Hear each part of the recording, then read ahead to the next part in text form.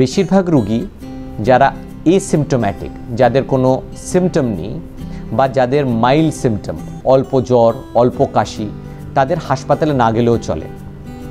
হসপিটালে যেতেই হবে, যদি অনেক জ্বর হচ্ছে, কাশি, কফ খুব বেশি হচ্ছে বা শ্বাসকষ্ট হচ্ছে, তাদের হাসপাতালে যাওয়া খুবই জরুরি।